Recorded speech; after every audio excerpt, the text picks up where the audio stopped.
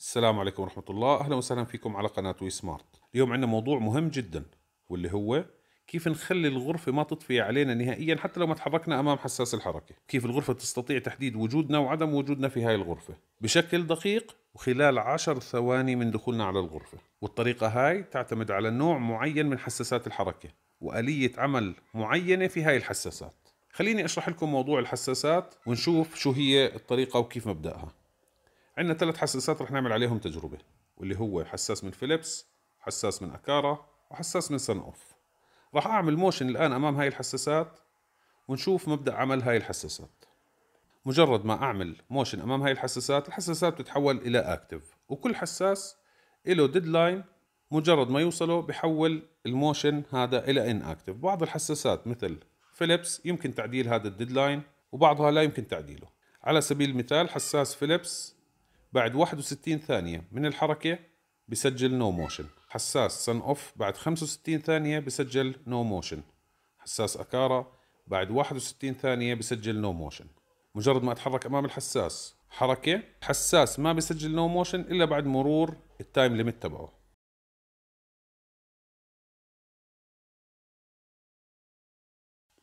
طيب شو بصير لو أنا عملت حركة خلال ال motion وهو active راح أعمل حركة الآن والحساسات أصلا هي active راح أعملها بعد عشر ثواني من الحركة الأولى. راح نشوف مين من الحساسات راح تضيف هاي العشر ثواني على ال deadline ومين منها ما راح يضيف هاي العشر ثواني. راح أسرع الفيديو الآن. كما لاحظنا حساس Aqara ما اهتم للعشر ثواني وسجل no motion بعد 61 ثانية. أما حساس فيليبس وحساس Sonoff أضافوا العشر ثواني على ال deadline وهيك صار بإمكاني أعتمد حساس Sonoff أو حساس فيليبس لهاي ال trick بما أنهم بسجلوا ال motion تراكمي. وهاي النقطة مهمة جدا ورح نستفيد منها في ال trick اللي رح نعملها. فأنا رح أعتبر إنه أي حركة بتتم في الغرفة بعد أول عشر ثواني بتأكد على وجودي في هاي الغرفة ورح تمنع الإضاءة إنها تطفي نهائيا. وهاي الطريقة مناسبة جدا للحمامات الله يعزكم مناسبة جدا للغرف اللي بيتم إغلاق بابها بعد الدخول عليها. خلينا نجربها الآن مع بعض. الآن بالوضع الطبيعي أنا لو دخلت على أي غرفة وعملت motion وتوقفت عن الحركة بعد ال deadline واللي هو دقيقة أنا عامله بهذا المثال بعد ال deadline لل motion sensor أنا عامله دقيقة من عدم وجود حركة إنها تطفي الغرفة. فمباشرة إذا أنا توقفت عن الحركة داخل هاي الغرفة راح تطفي علي هاي الغرفة. أو إذا كنت في زاوية في الغرفة ما بغطيها هذا الحساس فمباشرة راح تطفي علي هاي الغرفة. أو على سبيل المثال الله يعزكم كنت في الحمام وكان في بخار من الاستحمام مغطي على رؤية الحساس. راح تطفي علي المكان اللي أنا موجود فيه. أما في التجربة الثانية راح أعمل حركة أمام الحساس وبعد عشر ثواني راح أرجع أكرر هاي الحركة. طبعا هون أنا مفعل التريك اللي راح أشرح لكم إياها لاحقا. بهاي الحالة النظام راح يستطيع تحديد إني أنا موجود في هاي الغرفة بعد العشر ثواني الأولى حتى لو أنا ما تحركت نهائيا داخل هاي الغرفة. ولو مهما مر من الوقت بدون حركة راح يضل النظام عارف إني أنا داخل هاي الغرفة. لاحظوا معي إنه مر ما يقارب الثلاث دقائق بدون حركة والنظام ما زال عارف إني أنا داخل هاي الغرفة. وعشان يستطيع النظام تحديد إني طلعت من هاي الغرفة راح أرجع أعمل motion أمام الحساس وأرجع أفتح باب الغرفة وأطلع منها وأسكر الباب. وبهاي الحالة النظام عرف إني طلعت من الغرفة. وبعد ال deadline اللي هو دقيقة راح يطفي الإضاءة. طبعا طريقة تطبيق هذه ال trick هي واحدة على SmartThings وعلى Hubitat لكن في هذا الفيديو راح أشرح لكم طريقة التطبيق بالتفصيل على Hubitat ول SmartThings إذا كنتم مهتمين خبروني برجع بعمل لكم فيديو عن SmartThings راح ندخل مباشرة على apps في ال Hubitat. وراح نعمل أول automation على ال motion and mode lighting app راح نختار create new motion lighting app وراح أختار لها اسم We Smart light automation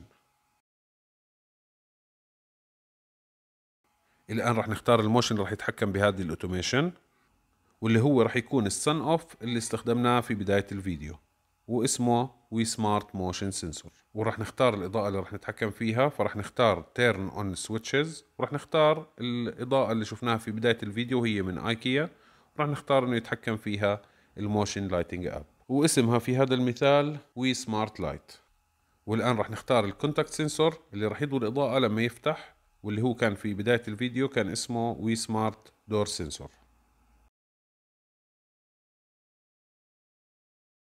الآن صار عندنا automation بسيط في حال صار في motion على حساس الحركة راح تضوي الإضاءة أو إذا فتح حساس الأبواب راح كمان تضوي الإضاءة. ولما يكون ما في motion لمدة دقيقة كاملة راح تطفي هاي الإضاءة.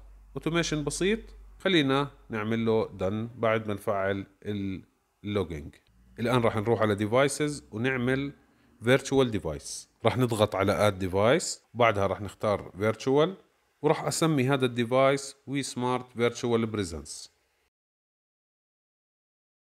ومن ال type راح أختار virtual switch والآن راح نضغط على save device هذا راح يكون باعتباره حساس تواجد وهمي.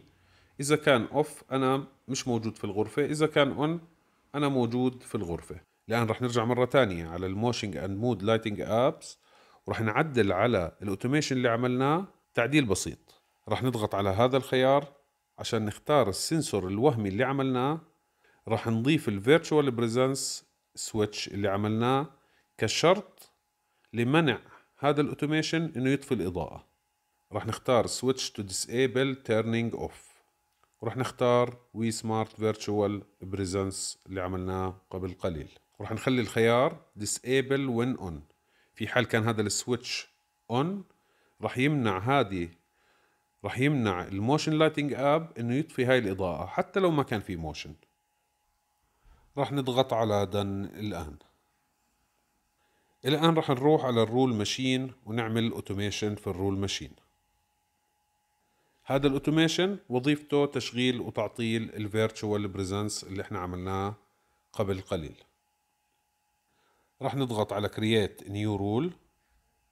وراح أسمي هاي ال rule We Smart virtual presence on automation وهي راح تحول ال virtual presence إلى on راح نختار في ال trigger event حساس الباب اللي شفناه في بداية الفيديو. في حال تم إغلاق هذا الحساس هذه ال rule راح تعمل fire فراح أختار We Smart door sensor وراح أختار إنه لما يكون closed راح أضغط على done الآن راح نضيف الأكشن اللي راح يتنفذ لما هذه ال rule تعمل fire راح نضغط على create new action وراح نختار ال wait وراح نختار wait for expression.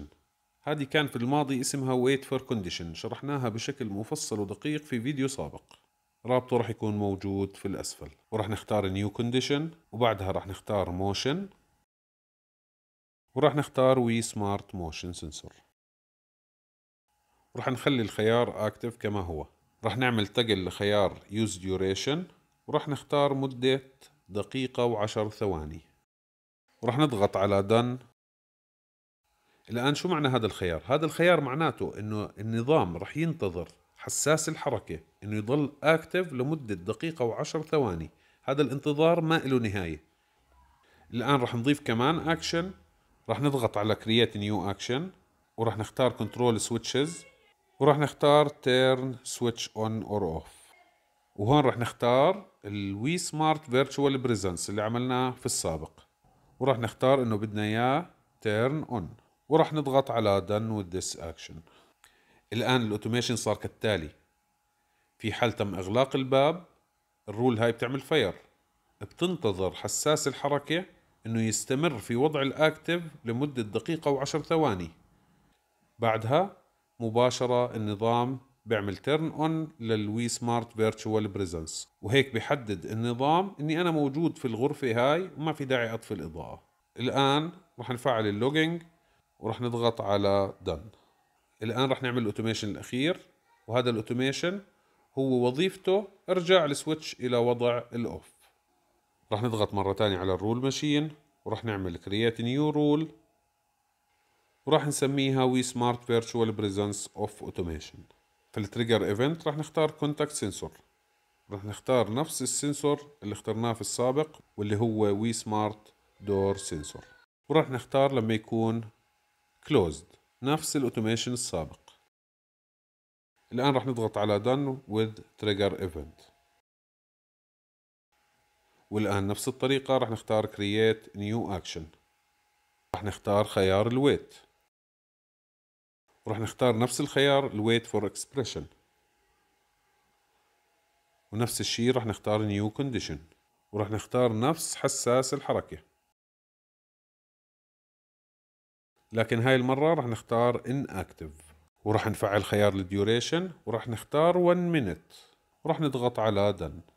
راح نكرر نفس الخطوات. راح نختار كمان اكشن بنفس الطريقة راح نختار ال control switch وراح نختار turn on or off switch وفي هاي المرة راح نغير الخيار إلى turn off وراح أختار إضاءة ايكا اللي سميناها We Smart light راح نختار ال We Smart Virtual Presence بهاي الحالة راح أطفي الإضاءة وأطفي switch الوهمي اللي بيأكد على التواجد أو عدم التواجد. وراح نضغط على done الآن ال automation صار عندنا. في حال تم إغلاق باب الغرفة انتظر حساس الحركة أنه يكون inactive بدون حركة لمدة دقيقة متواصلة. في حال تم هذا الأمر اطفي الإضاءة ورجع حساس التواجد إلى ال off. الآن ضل عندنا خيار أخير نعدل عليه واللي هو بال automation اللي شغل حساس التواجد وعمله on نضيف عليه خيار إضافي.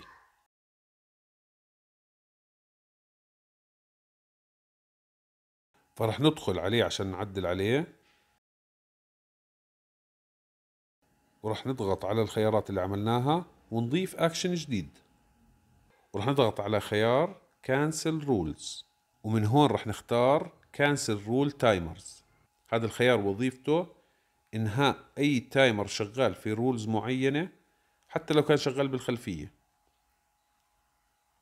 وهون رح نختار ال rules الثانية اللي عملناها اللي هي اللي بتطفي حساس التواجد وبتطفي الإضاءة اللي عملناها قبل قليل. رح نختار إنه نكنسل ال timer تبعها يعني بما معنى آخر رح نكنسلها بشكل كامل. لما هذه ال rules تكون صحيحة بتكنسل هديك ال rules. ال automation صار عندنا كالتالي.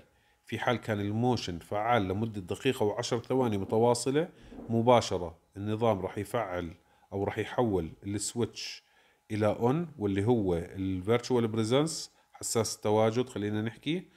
وراح يكنسل ال rules الثانية اللي شغالة بالخلفية بتنتظر إنه ال motion يكون inactive عشان تطفي الغرفة. فراح يكنسلها بشكل كامل. وبهاي الحالة الغرفة راح تضلها شغالة بدون ما تطفي نهائيا لغاية ما يتم فتح باب هاي الغرفة وإغلاقه مرة أخرى برجع السيناريو بدور من أول وجديد. تتنافس هاي ال automation مع ال automation الثانية مين راح يفوز؟ هل ال motion راح يكون active لمدة دقيقة وعشر ثواني والإضاءة تضلها شغالة؟ أم إنه راح تفوز ال rules الثانية وراح ال motion يكون inactive لمدة دقيقة ويطفي الإضاءة. هذه هو ال automation وهي هي الطريقة. اللي إحنا عملناها وشرحناها في بداية الفيديو. هو الموضوع ببين صعب لكن جربوه وطبقوه راح تلاقوا إنه هذا الموضوع سهل جدا وبسيط. بدون تطبيق راح تكون الأمور مو واضحة بالنسبة لكم. إن شاء الله يكون عجبكم هذا الفيديو إن شاء الله تكونوا استمتعتوا فيه. لايك وسبسكرايب. السلام عليكم.